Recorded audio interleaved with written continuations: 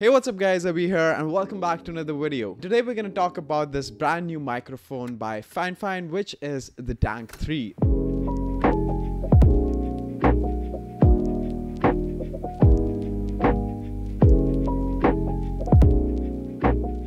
This is a dynamic microphone, so it pretty much eliminates a lot of your background noise and thus is perfect for podcasting. I've been using this for the past couple of weeks as my main mic. This was the main microphone that I used in my last video and everybody seems to like it. And that pretty much says all about it. This comes in a price point of 120 bucks Canadian or about $80 US, which is a very solid price point for such an amazing microphone. So let's start talking about the overall build. This is a full metal build and has a really solid solid construction and it weighs about 700 grams so you know that it is built like a tank. This feels super premium and doesn't hurt the fact that it looks good on cam which is a very major deal for podcasts or even if you're streaming. This is not meant for streaming but even if you use this this is gonna look absolutely stellar on your live cam. Now taking a look at the overall mic, we have three physical buttons. So first of all, just below the branding, we have the mute switch. Also, it has an LED indicator to tell you if it's muted or not. And as you can see right now, it's green, so you can see that it is recording. And if I just press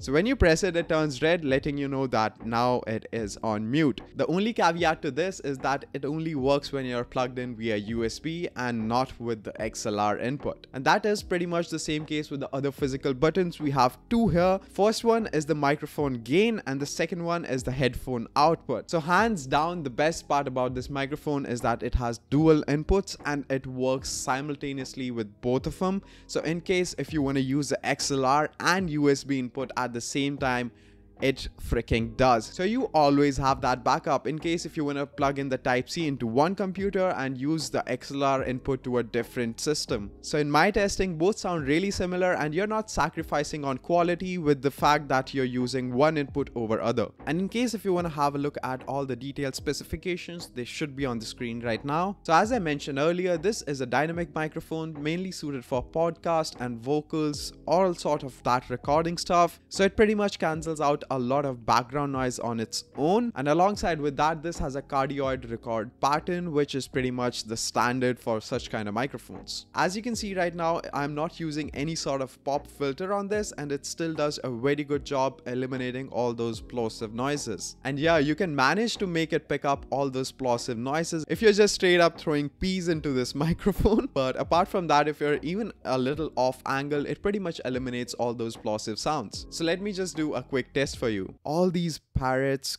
punching into the thin air with pumps all around. I don't know if that sentence makes any sense, but yeah, I hope that gives you a good idea of how this eliminates the plosive sounds, and if not, you're the judge. And I'm sure it did a very good job at that because of this metal mesh which pretty much eliminates all the pops. As I mentioned, this comes in at 700 grams which is surprisingly lighter than my pod mic which is about 930 grams. So it also makes it easier to mount it on different boom arms. And the one i'm using right here is also by Fifine. This is their low profile arm. I absolutely love this and this is super sturdy fully built out of metal and can easily manage the weight of this and also even my pod mic. If i tap on the table and the boom arm you can see how much noise it picks up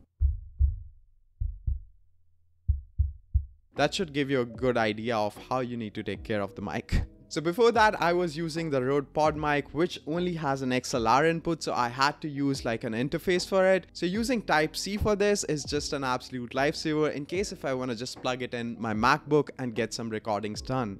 Also, this is a lot heavier. I'll do a quick comparison of both and you can be the judge yourself. So this is a recording sample from Rode PodMic which is plugged into the UM1 interface, pops and pickles. So talking about the overall pros and cons, I am really surprised how good this microphone is for the price. As the build quality you get in this is really solid, the headphone monitoring output has no hiss whatsoever so it makes monitoring the audio very easy. The sound profile is a little bit mid forward and not super neutral but that pretty much makes sense since this is tuned as a podcast microphone and you can always manage it to your liking while processing it in post. Another big pro that I really like is having the physical controls, the microphone gain knob and the headphone output alongside with that microphone mute switch which is really handy at points. And last but not the least, you don't really need a pop filter for this which saves you a couple of extra bucks can't be really all flowers and petals. So one major con that I would like to highlight is it has a little bit of self noise and that is very easy to get rid of with any sort of basic noise reduction software. So I would say that is like a little nitpick from my side,